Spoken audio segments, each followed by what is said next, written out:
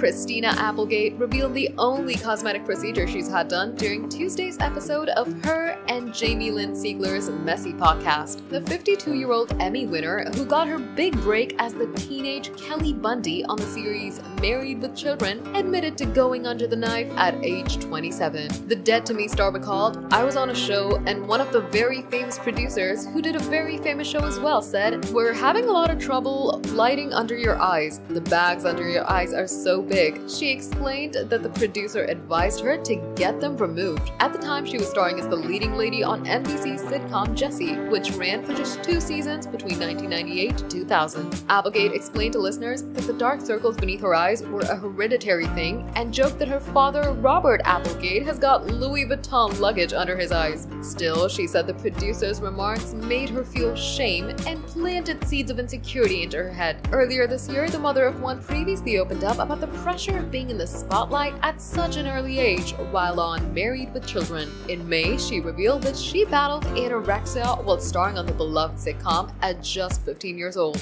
Uh, uh.